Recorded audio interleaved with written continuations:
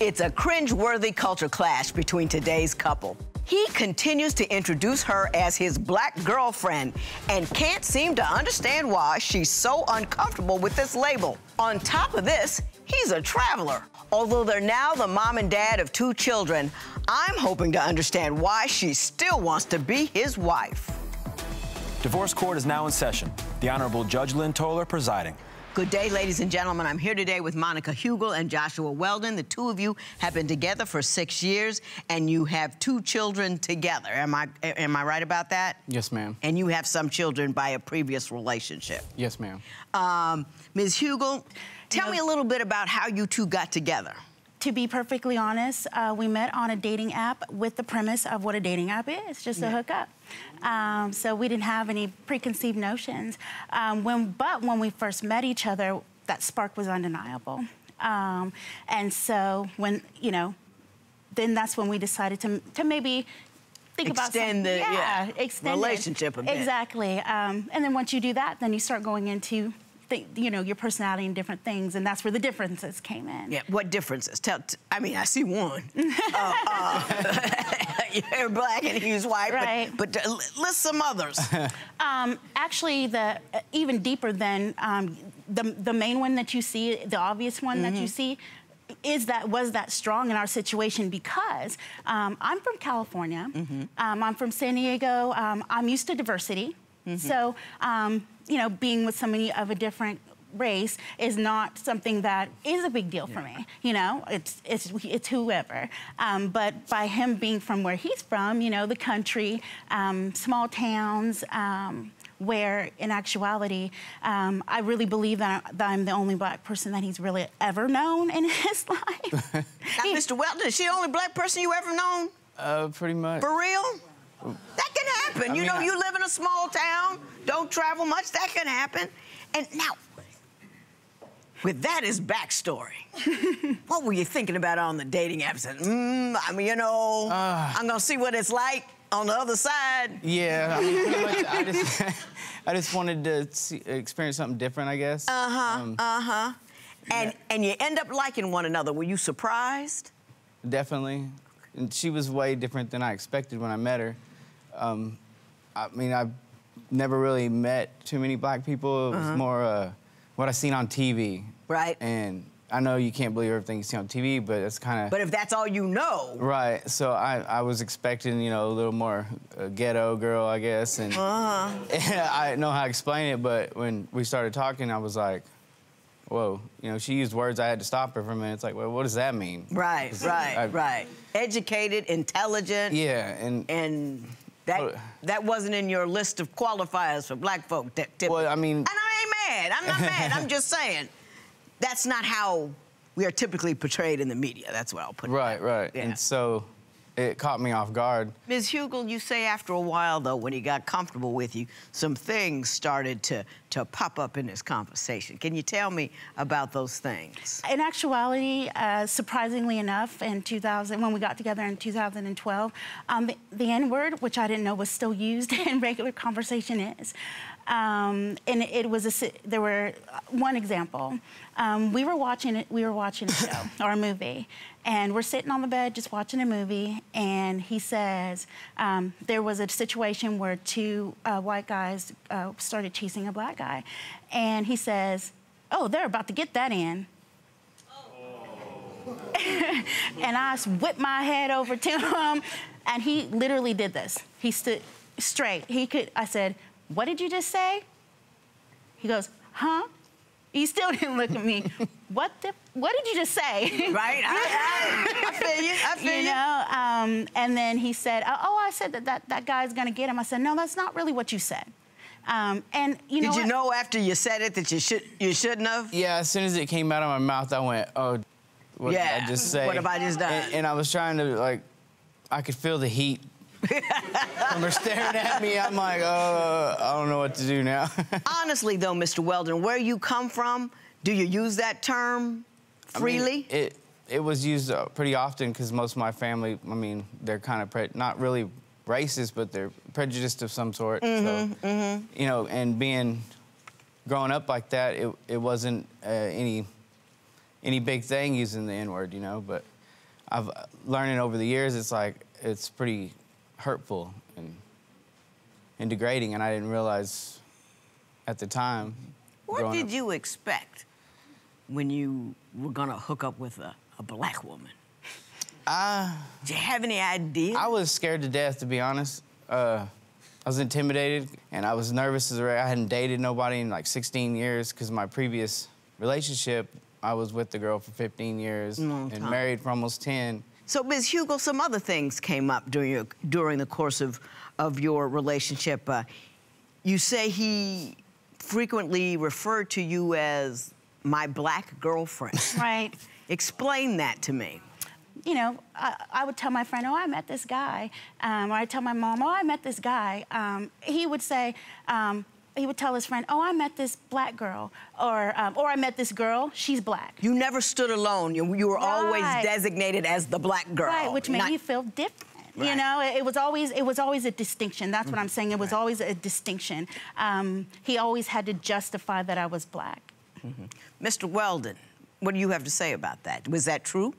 Uh, yes, Your Honor, but um, a lot of my friends are growing up in school and stuff were prejudiced. I mean, I hung out with skinheads for my junior year, and then after I got away from that, because I realized it, it was stupid, that I, I shouldn't hate somebody just because of the color of their skin, because I don't know anything about them. Right. Why should I hate? Right. You know, and then I would, I kind of, I introduced her like that because I didn't want my friends to just be shocked all of a sudden. Mm-hmm. I mean, I took her to meet one of my friends in Gorman.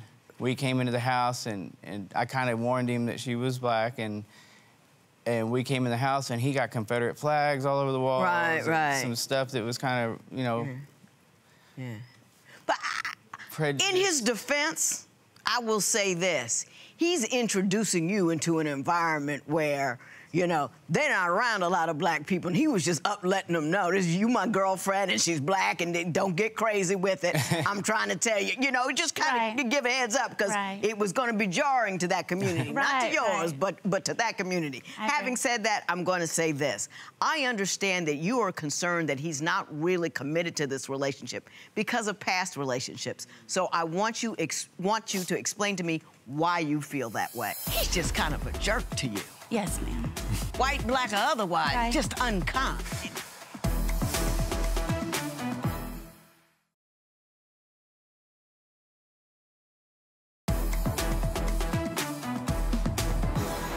So, Ms. Hugo, what gives you concerns with respect to his commitment to this relationship?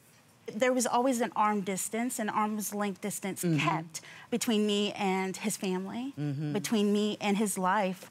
Granted, you know, uh, when I did meet him, he was coming out of a, um, a relationship, a marriage, and um, you know, it, I actually was, was okay. Well, I'll be there as a friend for you.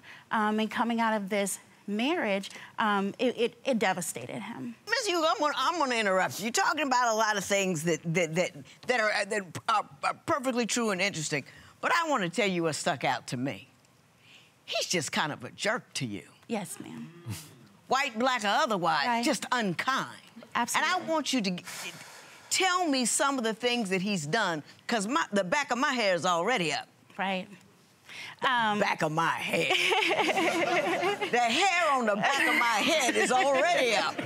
When I was pregnant, um, I needed a lot of help. Um, I'm, I was uh, at, at a risk pregnancy. I'm an Mm-hmm. older, you know, in, in the terms of being pregnant, I'm an older pregnant woman. Yeah, yeah, okay, okay. what Um, did what didn't he do? um, he wouldn't come home sometimes. I I needed. I, I had. I spent the first three months of my pregnancy in bed um, because I literally couldn't get up. And um, Didn't you would- text him one day and say, "Look, I'm hungry. I can't get up. I can't get any food. I'm bedridden," and he just didn't do it? one day, that happened very often. Um, anytime I was hungry, um, he was the only uh, person that could help me. And um, in many cases, it was me texting him saying, please come home, you know, or can you bring something to eat? And, um, you know, maybe two days later, you know, that's, that, to me, two days is, is a long time And wouldn't, wouldn't, wouldn't he leave you alone with a sick baby while go out drinking with his friends? Yep, um, um, my baby ended up having some um, health issues. Right. Um, and he and he, he was boozing. Yeah, yeah. And when you were pregnant with the second baby, wasn't he talking to other women? that happened the whole relationship. Um, but I didn't find out. Uh, um, I didn't find out the seriousness of it until um, as time has gone on. So yes. Your son was so ill that you had to quit your job to care for him. And did he say to you, "So what? You just giving up now?" Yes, well, uh, because yeah, because I had to quit my job. Of course, that's causing some financial mm-hmm. issues. Um, and so I looked at him. Hey, you got to help me with some of these bills. You know, I, have done everything I can. I've, I've, gone through all of my resources. Um, so when I was kind of angry that he was like, well, why don't you go do this? Why don't you go do this? I'm like, now it's time for you to do, do this. Do something, right? Um, he actually said to me, well, what? Are you just going to give up? I got you. I got you. Weldon. That's a whole lot of incoming. and I'm gonna give you an opportunity to defend yourself. What's with all the disregard? I was a jerk at the time. I didn't I didn't understand. I have a hard Well, have uh, you unjerked yourself? Yes, ma'am. Yes, ma'am. How did you get dejerked?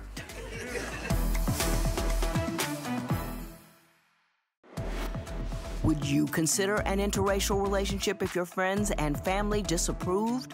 Tell us what you think at Divorce Court. Mr. Weldon, is all the things Ms. Hugle just said about you accurate? Unfortunately, they are. Okay. Talk to me about that. Um, she would tell me I'm still hung up on my ex. Uh huh. I didn't think I was at the time, but you know, recently I've realized she's she's been right mm-hmm. about it, and and I regret some of the things I've mm-hmm. done, and I can't change what I what I what has happened in the past, but. Mm-hmm. What's with all the disregard? I mean, I think all of those things, when you stack them up together, is you actively saying to her, you're really not that important. You're really not that important. And I want to ask if you have any insight on why you felt the need to keep telling her she's really not that important. I was a jerk at the time. I didn't. I didn't understand. I have a hard. Well, have you unjerked yourself? Yes, ma'am. Yes, ma'am. How did you get dejerked? at the time I was doing a lot of stuff, I did. I had a drinking problem, and I was sometimes not in my right mind. Mm-hmm. And I mean, I can't blame it on, on on that totally, but I went through an old cell phone and I was reading some of the text messages that had that had gone back and forth between us, and, and I sat there and I, I, just couldn't believe the the, the things, things I did and said to her that uh-huh. she's done nothing but help me, and all I did was it was was treat her terrible. I mean, he told another woman that he loved her and sent pictures of your children to her. Is that true? It was on my birthday. He was speaking to another woman, um, and he, he, had told her, she'd asked, Well, um, you, do you have any feelings for um, this person? Because he had just called me his baby's mama kind of thing. Mm. Um, that's how he would refer to me. And she asked, you know, so, you know, how do you feel? Or are you ever going to get back with her? And in the in the message, she said, it said, no, I don't ha- I don't love her anymore. I don't have those feelings for her anymore. Um, it's all about my kids. Mm. And then proceeded to send her send pictures, pictures of our kids. Mr. Weldon, did that happen too? On my birthday. Yes, ma'am. how long ago was that? Last year. On my birth, my last birthday. Okay, let me ask you. You got two kids together, so I'm, I'm seeing it a little bit. But why didn't you break camp earlier? Um, I was in denial that somebody could actually be treating me this way. Um, I didn't want. I wanted to believe every time he told me. So it wasn't that he consistently treated. Oh, me Oh, he said way. he was sorry yes. and he was nice. He yes. nice on Tuesday, Wednesday, right. Thursday, and Friday he'd pop out with another one. I've been here a long time. Right, I know right. that story. And parts of him, like I said, um, you know, he there, there were there were situations where we were in a bind and he did get us out of a bind and mm-hmm. blah blah blah. But mainly, I, it's because I was in denial. Um, I didn't want to believe that that somebody was treating me that way. Did it change how you felt about yourself? Absolutely. And once you get used to being treated that way, that's what you expect. That's what you expect. Um, and then now with our children, um, it became that type of situation because. What then, do you want from me? What I want is for you for you to give him a perspective um, on what really is, has been going on in the situation. Um, I want to be able to communicate better with him. What do you want from me? Why did you agree to come here? Because you knew I was going to fuss at you, right? Yes, ma'am.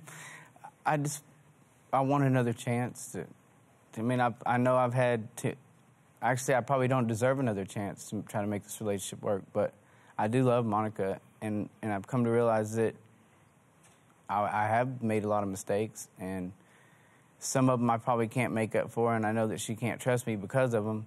But I love my kids, and I love her, and I want to take care of them, and I just want to do it, you know, what's right. All right, I'm gonna give you my best last lessons. See what happens. What is the hardest difference to overcome in a relationship? Share your opinion on Twitter and Instagram at Divorce Court. Divorce Court will be right back.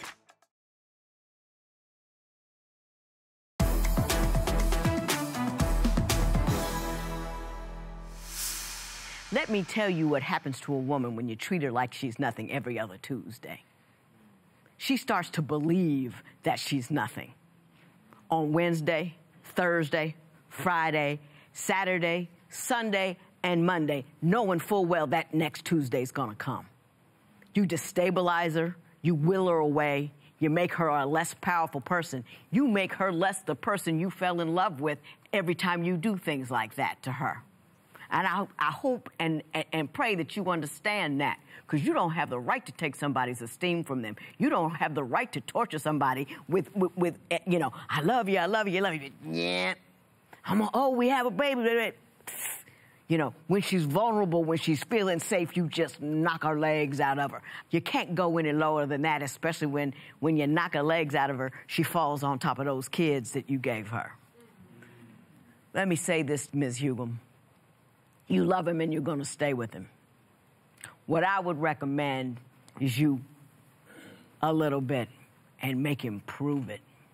Always let him see his kids. If you want to date him, that's fine. But before you open your heart to him again, he's got to prove over the long term he knows how to speak to you. He knows how to love you. He knows how to be frustrated around you. He knows how to put down the bottle when he's with you. He knows how to act if he picks up the bottle and still doesn't call you out your name. Do you understand what I'm saying Absolutely. to you? He has to prove it to you. He has to be uncertain of you so that he knows he has to fight to keep you. You with me on that one? Absolutely. Never another Tuesday, Mr. Weldon. Never. You with me? Yes, Because ma'am. every Tuesday, when you whittle away the mother, the kiddies go too. Yes, ma'am. You gonna be strong. Gonna be a strong black woman. you know what I mean? Know how to stand the ground. Absolutely. All of that. Absolutely. This matter is adjourned.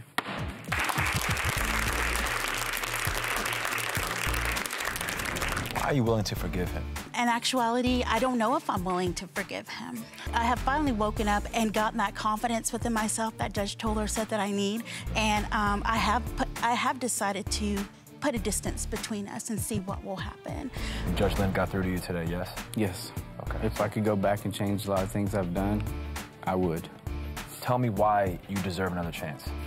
Um, Things have changed, I guess, for me. I've, I've realized the bad guy that I've been and, and the stuff that I've done and how I've hurt her. I just want to do what's right and make her, you know, give her the confidence and security that, that she deserves.